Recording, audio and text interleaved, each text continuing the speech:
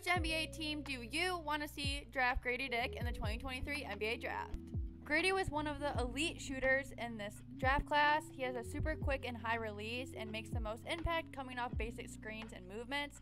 And he also has the ability to impact the game in other ways besides shooting. He ranks in the 71st percentile off catch and shoots, 88th percentile off jump shot possessions, and 74th percentile on spot ups per Synergy Sports. He has the ability to get off shots so fast in transition is super impressive. He's great at setting his feet and squaring his hips and body to the basket. Simplicity is the name of the game with Gradey. Don't expect him to do anything flashy or out of the ordinary to create for himself off the dribble or get to his pull up just yet. I would love for him to grow in these areas over his time in the league, in addition to developing a tighter handle.